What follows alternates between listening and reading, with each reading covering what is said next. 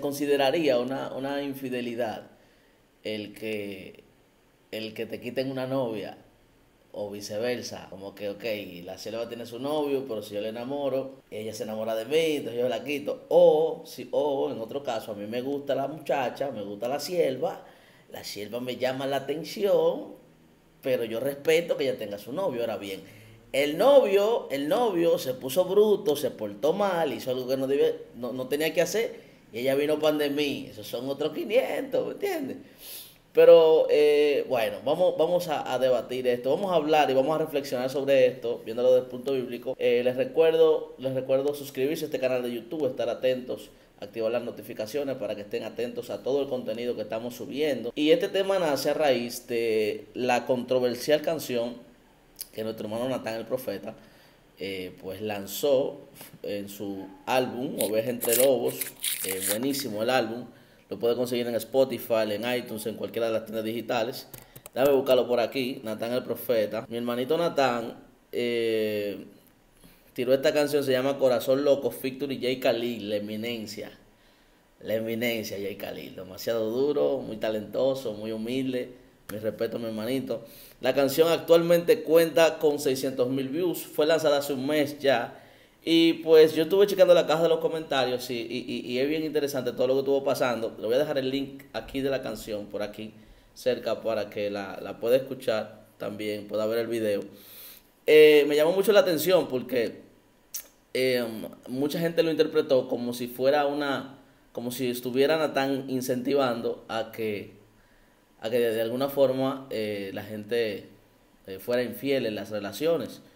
Eh, obviamente uno, uno sabe, uno que conoce el corazón de, de Natán el profeta, como hombre de Dios, eh, uno sabe que esa no era su intención, pero sería bueno aprovechar esta oportunidad para saber eh, qué, qué, qué, qué, realmente significa esta canción, qué propósito realmente tiene esta canción, y qué mejor conocer este propósito de la boca del mismo autor, que es mi hermanito Natán el profeta. Lo voy a llamar, lo voy a llamar aquí por teléfono. Déjame ver, ojalá me lo coja. Puse en altavoz. Ahora sí. Ahí está sonando. Mi hermanito Natán el Profeta, el petróleo. ¿Qué es lo que es? Todo bien, gracias al Señor, mi hermanito. Oye, me, eh, estoy grabando un video. La cámara está al frente de mí ahora mismo. Está grabando ahora mismo. O sea, el mundo te está viendo eh, toda la gente de uno. Sí, tú estás aquí, tú estás aquí. No en vivo, tú sabes que estoy grabado. no le vamos a hablar mentira a la gente. pero, pero tú estás aquí. ¿Cómo, cómo? y yo que pensaba que tú me estabas llamando para pagarme lo que me des. Negro, ¿dónde tú estás? ¿Por dónde tú andas? Estoy ahora mismo en, en el Bronx, en Nueva York. Estoy en Nueva York ahora mismo. New York City. ¿Qué, qué tienen por allá? vine aquí a apoyar a Jonathan Piña en un evento. Ah, sí, sí, el sensei, el maestro, nuestro amigo Jonathan Piña. Eh, negro, te estoy llamando, eh, estoy grabando este video, estoy, eh, estoy hablando sobre ese tema, eh, no específicamente sobre tu canción, pero sí me inspiré de tu canción, ya que en tu álbum, el álbum Oveja entre Lobos, una de, de las canciones más populares que se, que se ha que, ha tenido el álbum es la, la canción Corazón Loco, que es featuring J. Khalil. Entonces, la, la, canción Corazón Loco, yo estuve viendo en algunos de los comentarios eh, algunas personas que pues atacaban fuertemente el contenido de la canción porque según el audiovisual y, toda la canción, la canción es como si estuviera incitando a que, a que un pana le quita la novia a otro, a otro pana. ¿Me entiendes? y de cierta forma, o sea que la gente siempre busca lo negativo para aprovechar y, hacer controversia. Y pues hacer ver como si, como si fuera que un ministro esté incitando a, algo así. ¿Tú me entiendes? La pregunta es, manito, ¿cuál es la intención real de la canción? Ok, yo voy a ser honesto contigo. De hecho, el que eh, quiere ir al perfil de Instagram, seguirme en primer lugar y luego ver un video en el cual hablo con relación a eso. Lo que pasa es que esa canción, esa canción un personal, de hecho yo no la iba a grabar, yo la escribí porque como soy escritor, escribo cosas de mi vida a veces no la grabo. Y escribí esa canción porque es un testimonio de lo que me pasó a mí con mi esposa. O sea, que eso es personal, eso, eso, eso, eso es real, real. Eso fue algo que pasó. Resulta que, claro, mi esposa tenía otro novio antes de mí y ella estaba muy enamorada de él. Ella no parecía que nunca iba a terminar con él y yo estoy enamorado de ella desde que yo tenía como 15 años.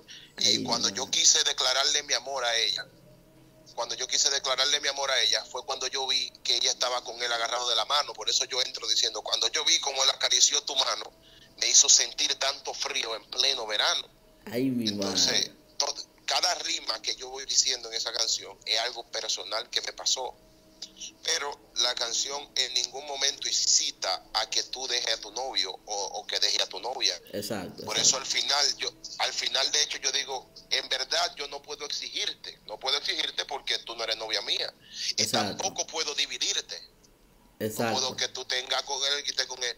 Pero el día que él trate de herirte, tú tienes mi dirección, sabes dónde dirigirte. ¿Me entiendes? Esa fue la parte que más me gustó, malo.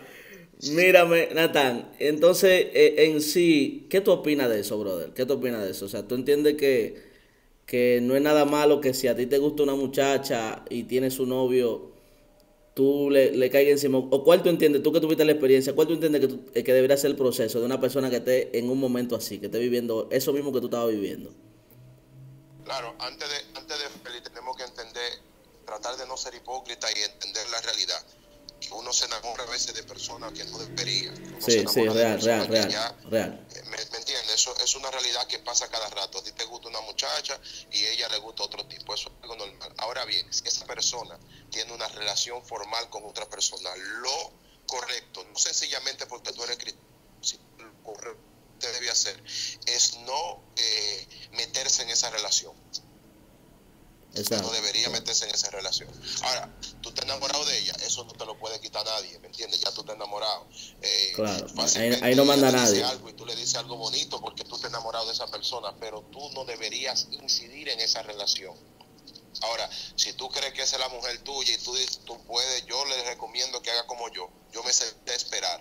Yo dije, en algún momento, eh, en algún momento esa relación va a fallar y ahí voy a yo para, para coronar. Claro, para pa, pa resolver. Claro, porque, de hecho, disculpa que me, me, tome el tiempo, pero de hecho yo en un momento, eh, como yo estaba enamorado de ella y vi que ella no quería ya terminar esa relación, ¿sabes qué yo hice? Yo, la, yo le di banda a eso y empecé entonces a hacer mi vida. Yo tenía otra novia y me iba a casar con otra mujer porque yo dije, bueno, ya ella tiene su relación, ella no, no está en planes de terminar con el muchacho, yo no me puedo encharcar aquí, me voy a, voy a hacer mi vida, comencé a hacer mi vida, pero en un momento Dios puso todas las cosas en su lugar.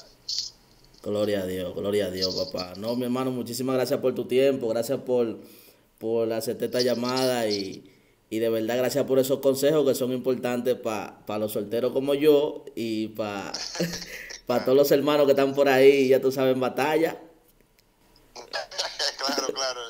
Salgan de los, llegará un momento en que saldrán de los eunucos En el nombre de Jesús. Ay,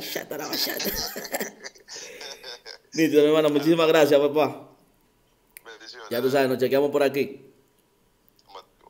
Dale. Señores, tuvimos ahí a Natán el profeta. Yo. es interesante, pero no sabía que era un testimonio real, no sabía. Yo brevemente voy a tratar de darle eh, como mi, como mi, mi opinión sobre eso, eh, yo creo, yo creo sinceramente, número uno, como dijo Natán, si tú estás viendo que hay que dos personas tienen una relación, tú tienes que respetar eso. O sea, tú tienes, aunque te guste la muchacha, tú tienes que respetar que esas dos personas tienen una relación y tú no puedes eh, introducirte como un veneno, como un virus en esa relación, hacer daño a esa, a esa relación. Eh, el consejo que dio Natán es, es el mejor. Siéntate a esperar que en cualquier momento en cualquier FAO que dé el otro pana, eso va a ser tuyo, tranquilo. En cualquier momento tú puedes aprovechar y, y, coronar, como dijo Natán, ¿me entiendes? Pero sí yo creo que también hay una percepción equivocada muchas veces en los noviazgos, porque cuando una persona es tu novio o es tu novia, no significa que es tu propiedad. O sea, todavía no te pertenece legítimamente cuando, cuando tú te haces novio de esa persona. En Éxodo capítulo 20 eh, habla sobre los diez mandamientos y conocemos el mandamiento que la gente solamente dice, no codiciarás la mujer de tu prójimo, pero no solamente dice eso.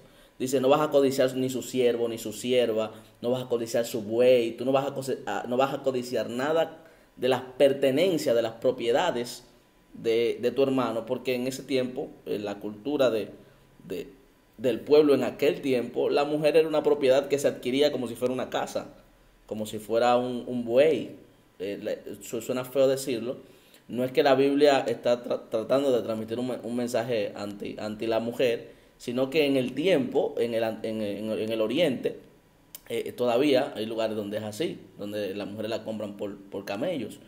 Entonces, ¿de qué forma nosotros podemos aplicar saludablemente eso a nuestro contexto de hoy en día? A lo que es de tu prójimo, o sea, lo, que le pertenece a tu prójimo, ya cuando una mujer está casada, que firmó los papeles, ya definitivamente, ya definitivamente no te, ya, ya, ya no te pertenece. Si firmó, ya no te pertenece. Pero mientras no ha firmado, tú todavía tienes el chance y la esperanza de poder conquistar ese, ese amor, ese amor que tú tienes por eh, eh, ese amor de tu vida, esa, esa mujer que tú amas, ¿me entiendes?